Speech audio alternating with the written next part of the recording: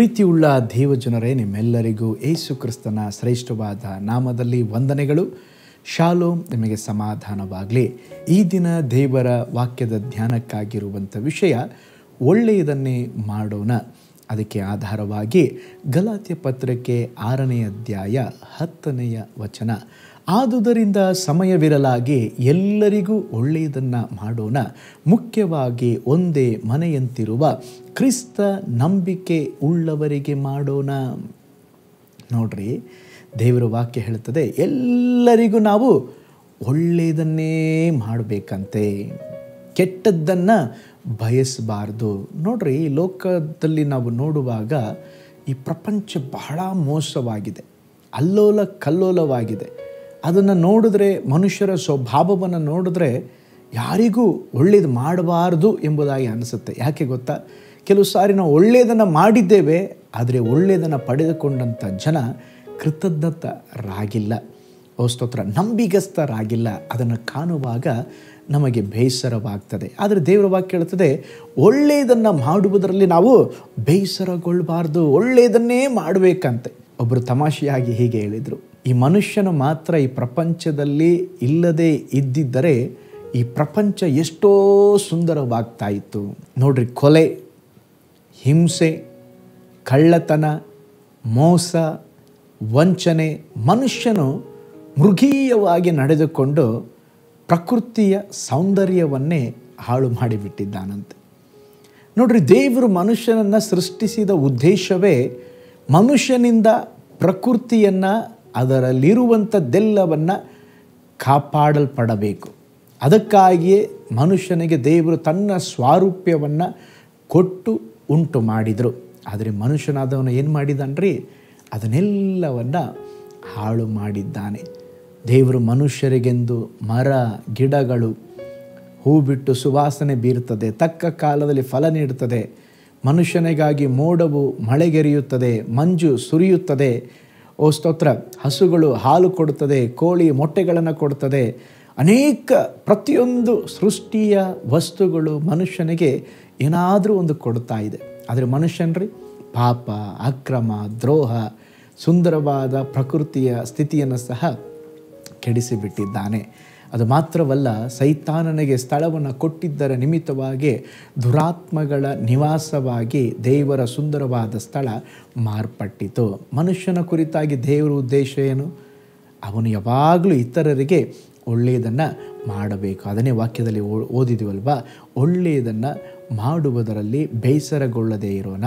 ಯಾಕೆಂದರೆ ಮನಗುಂದದಿದ್ದರೆ ತಕ್ಕ ಸಮಯದಲ್ಲಿ ಬೆಳೆಯನ್ನು ಕೊಯ್ಯುವೆವು ಮತ್ತು ಇನ್ನೊಂದು ವಚನದಲ್ಲಿ ನೋಡ್ತೇವೆ ಮನುಷ್ಯನು ತಾನು ಏನನ್ನು ಬಿತ್ತುತ್ತಾನೋ ಅದನ್ನೇ ಕೊಯ್ಯಬೇಕು ನೀವು ಕೆಟ್ಟದನ್ನು ಬಿತ್ತಿದರೆ ಕೆಟ್ಟತನವನ್ನು ಕೊಯ್ತೀರ ಒಳ್ಳೆಯದನ್ನು ಬಿತ್ತಿದರೆ ನಿಮ್ಮ ಜೀವಿತದಲ್ಲಿ ಒಳ್ಳೆಯದೇ ಸಂಭವಿಸ್ತಾರೆ ಆದುದರಿಂದ ನಮ್ಮ ಜೀವಿತದಲ್ಲಿ ಒಳ್ಳೆಯದನ್ನೇ ಮಾಡುವವರಾಗಿರೋಣ ಒಂದು ಊರಿನಲ್ಲಿ ಒಬ್ಬ ರೈತ ಇದ್ದೇನ್ರಿ ಆ ರೈತ ಅವನ ಪಕ್ಕದ ಹೊಲದವನು ಯಾವಾಗಲೂ ಜಗಳವಾಡ್ತಾ ಇದ್ದ ಆದರೆ ಇವ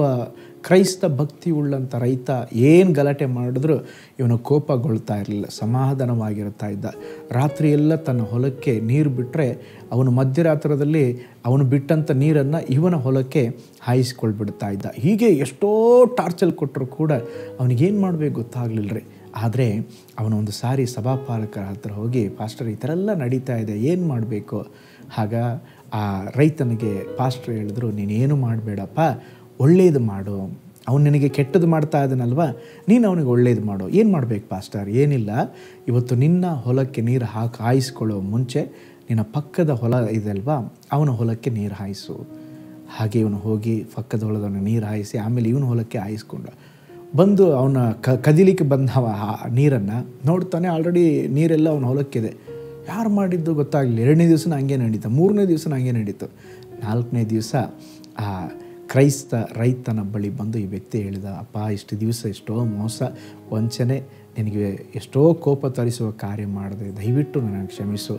ನಾನು ಕೆಟ್ಟದನ್ನು ಮಾಡಲಿಕ್ಕೆ ನನಗೆ ಬಯಸ್ತಾ ಇದ್ದೆ ನೀನಾದರೂ ನನಗೆ ಒಳ್ಳೆಯದನ್ನೇ ಮಾಡಿದ್ದೀಯಾ ಎಂಬುದಾಗಿ ಹೇಳಿ ಅವತ್ತು ಅವನ ಜೀವಿತ ಪರಿವರ್ತನೆ ಆಯ್ತು ರೀ ನಮ್ಮ ಜೀವಿತದಲ್ಲಿ ಸಹ ನಮ್ಮ ವಿರೋಧವಾಗಿ ನಮಗೆ ಆಗಾಗ ಸೂಜಿ ಚುಚ್ಚೋರೆಲ್ಲ ಇರ್ತಾರೆ ನಮ್ಮ ಕುರಿತಾಗಿ ನಮಗೆ ಕೆಟ್ಟದಾಗಬೇಕು ನಮ್ಮ ಮೇಲಕ್ಕೆ ಬರಬಾರ್ದು ಎಂಬುದಾಗಿ ಅನೇಕ ಜನರು ಮಾತನಾಡ್ತಾ ಇರ್ಬೋದು ಅವ್ರು ನೆನೆಸ್ಕೊಂಡು ಅಯ್ಯೋ ಅವನಿಗೆ ಕೆಟ್ಟದ್ದು ಮಾಡಿದ್ದಾನೆ ನಾನೂ ಕೆಟ್ಟದ್ದು ಮಾಡ್ತೇನೆ ನೋ ನೋ ನೋ ನೋ ಯೇಸು ಸ್ವಾಮಿ ಹೇಳಿದ್ರು ಒಂದು ಕೆನ್ನೆ ಮೇಲೆ ಹೊಡೆದ್ರೆ ಇನ್ನೊಂದು ಕೆನ್ನೆ ಕೊಡು ಒಂದು ಮೈಲಿ ದೂರ ನಡೀಲಿಕ್ಕೆ ಬಾ ಅಂತ ಹೇಳಿದ್ರೆ ಮತ್ತೊಂದು ಮೈಲಿ ಹೋಗು ಆದರೆ ಇನ್ನೊಂದು ವಾಕ್ಯ ಹೇಳ್ತದೆ ಕೆಟ್ಟತನವನ್ನು ಕೆಟ್ಟತನದಿಂದ ಸೋಲಿಸಬಾರ್ದಂತೆ ಕೆಟ್ಟತನವನ್ನು ಒಳ್ಳೆತನದಿಂದ ಸೋಲಿಸಬೇಕಂತೆ ಹಾಗಾದರೆ ಒಳ್ಳೆಯದನ್ನು ಮಾಡೋಣ ಕರ್ತನ ನಾಮವನ್ನು ಘನಪಡಿಸೋಣ ಕಣ್ಗಳನ್ನು ಮುಚ್ಚೋಣ ಪ್ರಾರ್ಥನೆ ಮಾಡೋಣ ಪರಲೋಕದಲ್ಲಿ ವಾಸ ಮಾಡುವ ನಮ್ಮ ತಂದೆಯಾದ ದೇವರೇ ನೀವು ಒಳ್ಳೆಯ ದೇವರು ಒಳ್ಳೆಯದನ್ನೇ ಮಾಡುವ ದೇವರು ನಾವು ಸಹ ಒಳ್ಳೆಯದನ್ನು ಮಾಡುವುದರಲ್ಲಿ ಬೇಸರಗೊಳ್ಳದೆ ನಿನ್ನ ನಾಮಕ್ಕೆ ಯಾವುದೆಲ್ಲ ಯೋಗ್ಯವಾಗಿದೆಯೋ ಮಹಿಮೆ ತರ್ತದೆಯೋ ಆ ಎಲ್ಲ ಒಳ್ಳೆಯ ಸಂಗತಿಗಳನ್ನು ಮಾಡಲಿಕ್ಕೆ ನಮಗೆ ಕೃಪೆ ಕೊಡ್ರಿ ಈ ವಿಡಿಯೋನ ವಾಚ್ ಮಾಡಿದ ಪ್ರತಿಯೊಬ್ಬ ದೈವ ಮಕ್ಕಳನ್ನು ಬ್ಲೆಸ್ ಮಾಡಿರಿ ಅವರ ಕುಟುಂಬಗಳು ಆಶೀರ್ವದಿಸಲ್ಪಡಲಿ ಅವರ ಕೈ ಪ್ರಯಾಸಗಳು ಕೆಲಸ ಎಲ್ಲದರಲ್ಲಿ ದೇವರೇ ನೀವು ಒಂದು ಅದ್ಭುತವನ್ನು ಮಾಡ್ರಪ್ಪ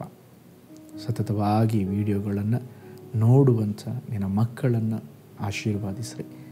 ಹಾಗೆ ಮಾಡಿದ್ದಕ್ಕಾಗಿ ಸ್ತೋತ್ರ ಯೇಸುವಿನ ಹೆಸರಿನಲ್ಲಿ ತಂದೆ ಆಮೇನ್ ಆಮೇನ್